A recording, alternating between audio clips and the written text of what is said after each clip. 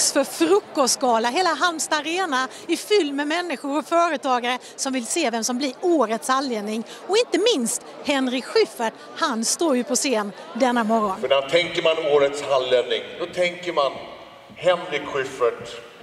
Vilken rivstart Henrik Schyffert, hur kändes det här? Det var ju roligt, jag var lite nervös faktiskt, det var så tidigt på morgonen. Folk sitter i en gympahall, men det, det, var, det var kul. Jag är så pass gammal nu så att jag, jag minns när man kunde gå på ICA med 10 spänn och prova ut med en lax, två flaskor cola, tre paket saffran. Idag går ju inte det. Idag har du kameror överallt, det är skitkrångligt. Att, eh, Vad berättade du den här morgonen? Vad fick oss att skratta? Jag försökte berätta på riktigt hur jag jobbar och vad jag gör och så tänker jag att någon kan väl relatera till det förhoppningsvis. Och sen är det lite snuskiga skämt också. Du är en fantastisk älskare. Du är närvarande. Men du vågar ändå trycka på... Nej, hon säger ingenting.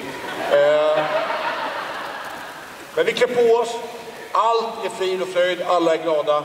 Tills hon sätter på sig sin klocka.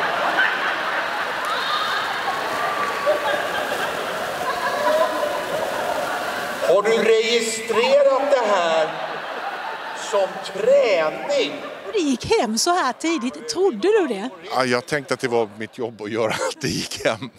Så att jag, ja, men de var gladare än vad jag trodde faktiskt. De var piggare än vad jag trodde. För att det finns alltid en idiot på ens arbetsplats.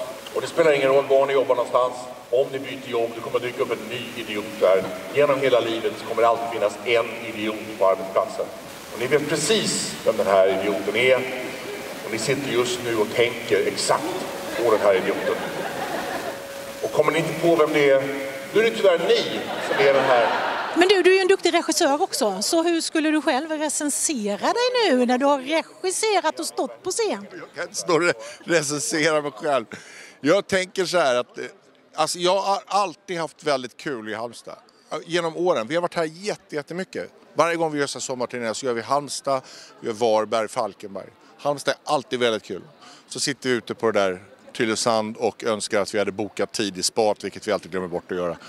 Så att, eh, nej men jag tycker alltid det är svinkul att vara här. Vad är det du gillar med Halland? Det är liksom lite Sveriges Kalifornien på något sätt. Så ni har ju stränderna, ni har det platina blonderade håret.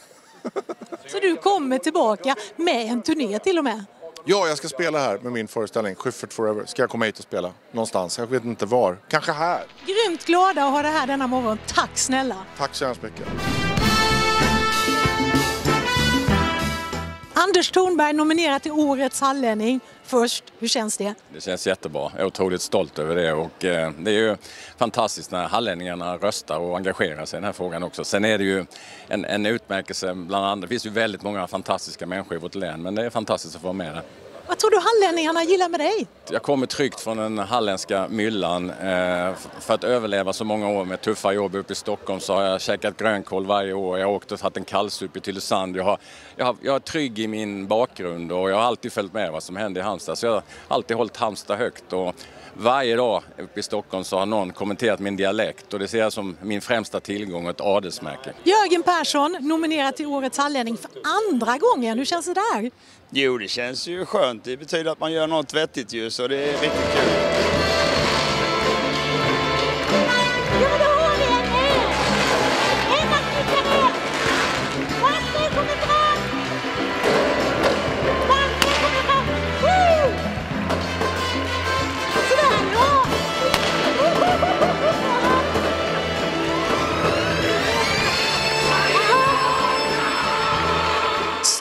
Grattis Emma Knyckare, Årets hallänning. Hur känns det? Nej, men det känns ju toppen alltså. Det är jag är jätte, jätteglad för det här. Det är jätteroligt. Hur stolta är de hemma i Rolfstorp? Och jag vet inte, de kanske sitter och kollar nu i alla fall, morsan och farsan. Jag hoppas att de är stolta, eh, för det är jag. Ja, hur har året 2023 varit för dig? Vad har du hittat på för någonting?